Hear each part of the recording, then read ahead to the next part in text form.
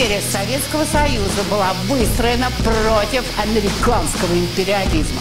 Были потрачены куча денег на создание ядерного пояса, ядерный щит, щит. Народ голодал, но все бабки на борьбу с внешним врагом. Чем закончилось? Чем, чем закончилось? Цены на нефть упали, Советский Союз развалился. Цены на нефть упали, Советский Союз развалился. Цены на нефть упали, Советский Союз развалился. Сейчас нам предлагают то же самое, то же самое.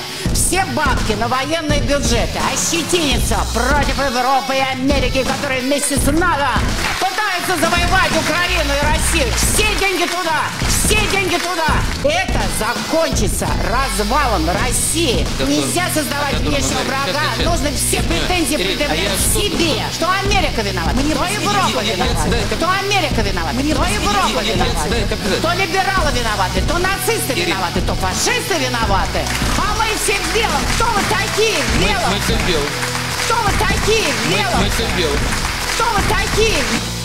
А то, что бюрократия обожралась окончательно, Это сидит нет. на нефти, тащит это все, тащит это все. И Россия- Украина к нам не идет. Не потому, что там Америка, Сейчас, а потому, что мы что-то делаем неправильно. И мы. Украине не нравимся. И мы. Украине не я вот- я вот нравимся. насчет- я вот- я вот насчет- Наша элита не конкурентоспособна и не имеет исторической чести сказать, мы должны исправить свои ошибки.